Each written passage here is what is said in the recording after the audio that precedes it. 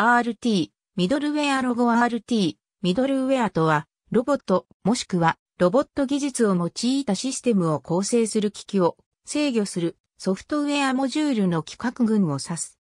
現在では、モジュール間の通信におけるインターフェースが規定されており、この規格は、チャーバヤンルの規格化で知られる、オブジェクトマネージメントグループによって議論がなされた後に策定される国際的な標準規格の一つである。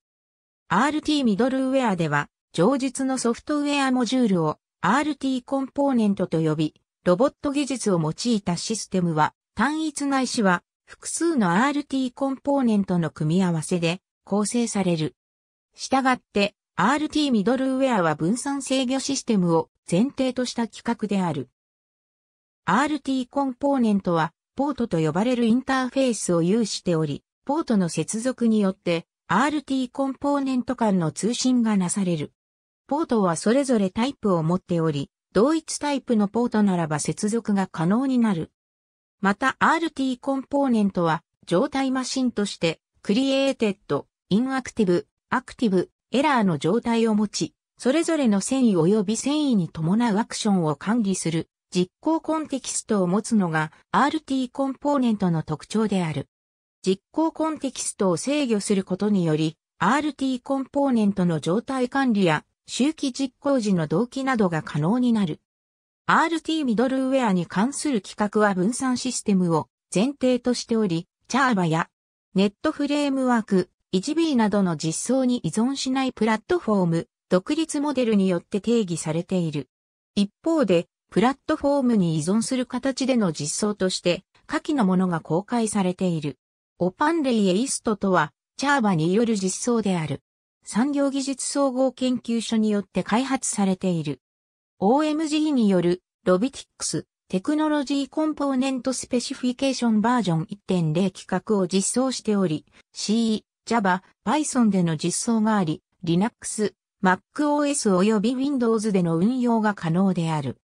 また、Java の特徴を活かした複数ホストによる分散システムや Linux カーネルのプリエンプションを利用したリアルタイムな実行コンテキストをサポートしており、PC をベースとしたロボットシステム開発に有効なツールとなっている。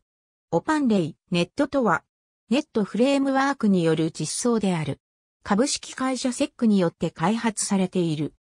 OpenRTM-aist と同様に OMG による Robotic Technology Component Specification バージョン1.0規格を実装しており、.NET Framework の特性を活かした複数言語のサポートや上記の OpenRTM-aist との通信をはじめ、 SOAP などの複数の通信プロトコルをサポートしているのが特徴である。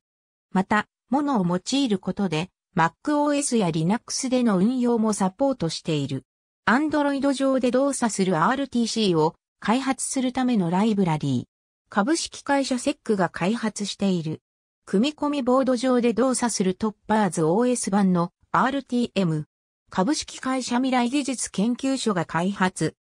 RTC 規格を組み込み向けに見直した軽量版 RTC の規格であり、その実装として株式会社セックが開発しているミーニアートック及びマイケロティックがあり、キャンバス及びジグビープロトコル上での通信が可能となっている。国際規格は EG61508 シル3、ケーパブル準拠の RT ミドルウェア。株式会社セックが開発を行っているゴスタイ。RTC とは、フランスゴスタイ社の開発した RT コンポーネント規格に準拠したロボット用ソフトウェアプラットフォームのことを指す。ありがとうございます。